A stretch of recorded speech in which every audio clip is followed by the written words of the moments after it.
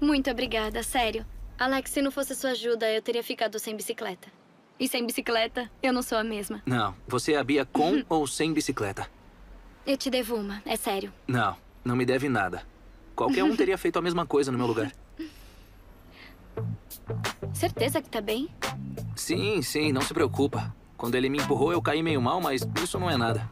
O importante é que você esteja bem e a sua bicicleta também.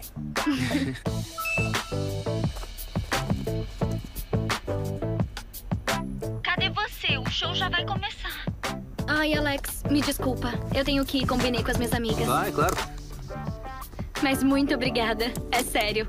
Obrigada. Tchau. Tchau. Alex, Oi? Não sabia que tava aqui. Você viu o que rolou? eu não acredito. Eu também não. Você viu como ela me abraçou? Ela tá afim. Não tô falando disso. O que aconteceu? Ah, no braço? Nada, não. Eu fingi que caí, mas eu tô bem.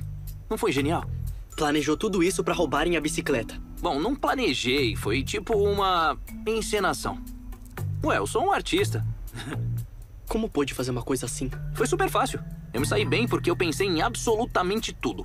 Você acha legal mesmo se aproximar dela assim, enganando? Olha, eu acho que isso funcionou e agora eu tô mais perto dela do que nunca. Qual é o seu problema?